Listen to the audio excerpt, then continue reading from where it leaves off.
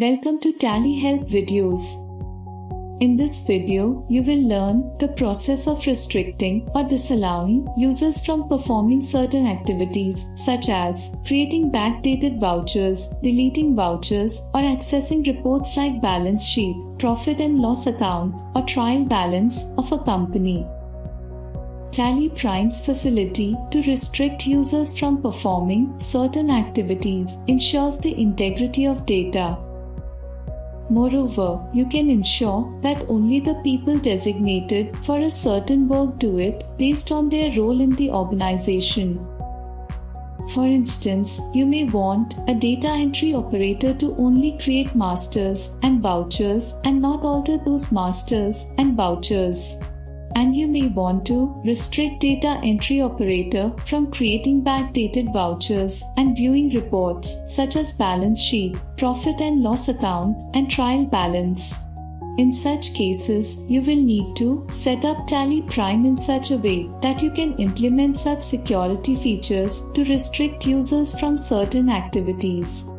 Let us first see how to enable security control features or say user access control in Tally Prime.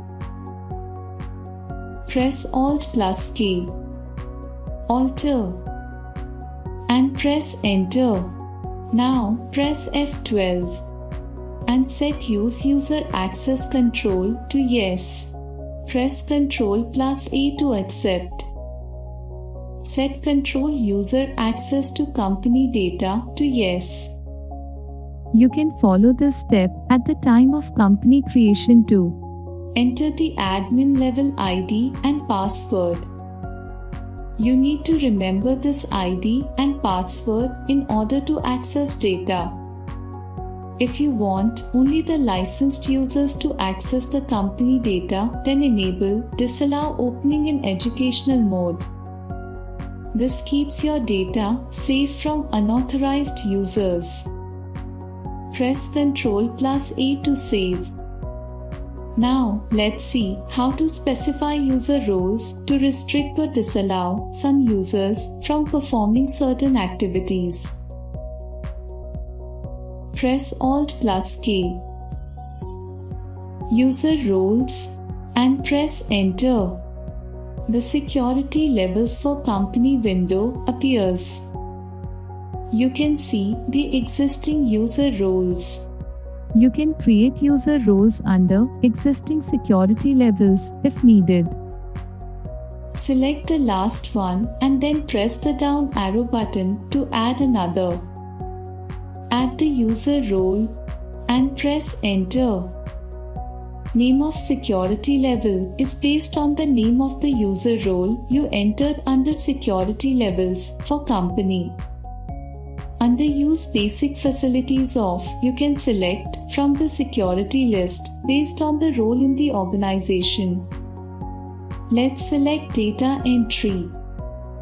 Enter the days allowed for backdated vouchers. Let's say 90 days. This will ensure that the user under this security level will not be able to record a voucher with a past voucher date earlier than 90 days. Enter the cutoff date of backdated vouchers. This ensures that the user under this security level will not be able to record a voucher with a date prior to the cutoff date. For instance, enter 1st of April 2022.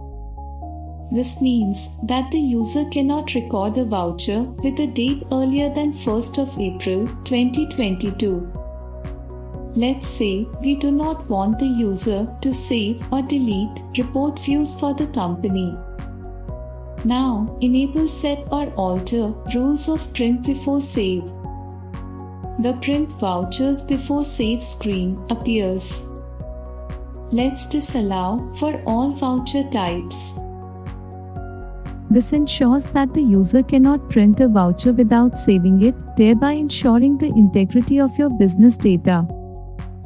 If you do not disallow vouchers from print before save, then users will be able to print the voucher even before the data is saved press Ctrl plus A and save the screen. The option Exclude on account from bill allocations helps you disallow the users to select on account during bill allocations while creating vouchers. This ensures that correct bill references are selected in the voucher. If you do not set this option as yes, then the users will be able to select on account in bill allocations during voucher creation and the correct bill reference will not get allocated. Allow company to connect is set to yes. This allows you to connect the company for remote and browser report access. You may change it to no if needed. If you select no, then you will not be able to connect the company remotely or access reports on browser. And use TallyNet authentication involves using email ID for authentication. This option is set as no. If you set it to yes, then users will need to provide email ID of your Tally.net account for authentication. Now, let us see how to disallow and allow certain facilities. You may want the users under the security level to disallow from full access to masters, vouchers, or backdated vouchers. Let's select full access and then accounts masters, inventory masters, vouchers, backdated vouchers, balance sheet, profit and loss account, and trial balance. Once you select all the activities that you want to restrict the user from, select End of List and press Enter. Now, let's say you want to allow the user under the security level to create purchase and payment vouchers. Moreover, you want to allow the user to create accounts and inventory masters and display backdated vouchers.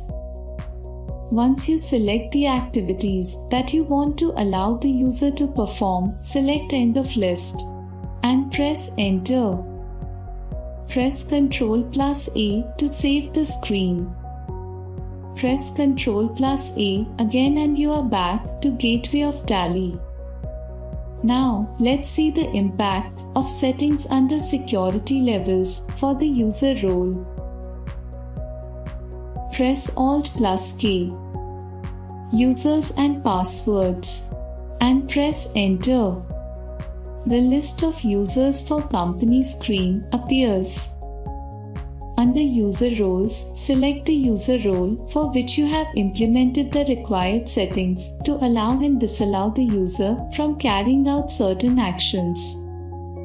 Enter the username. Enter the password for the user.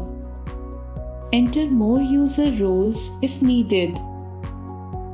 Allow browser access and allow remote access ensures that the users can connect the company to browse reports and work remotely, respectively. Allow local TDL files provides access to the TDL files stored in computer when you are working remotely. Once you enter all user roles and create all usernames and passwords, select end of list and press enter. Accept the screen. You can follow the steps to add users and passwords in a new company too.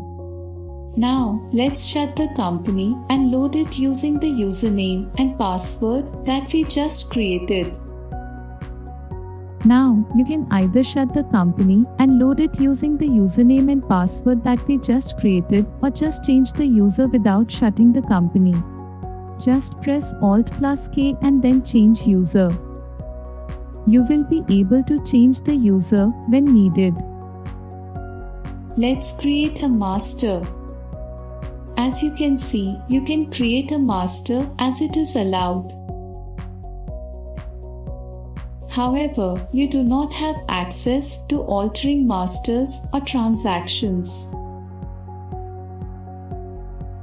Open Daybook and try to drill down to a voucher. As you can see, you get a prompt that says no access allowed. Similarly, the user will be disallowed to perform certain activities as specified in the user roles. Moreover, you can see that balance sheet and profit and loss AC do not appear for the user on gateway of Tally because the user is disallowed from those reports. As you saw, you can easily allow or disallow users from performing certain activities based on their role in the organization. Thank you. To know more about Tally Prime features, visit help.tallysolutions.com. Subscribe to the Tally Solutions channel for the latest videos.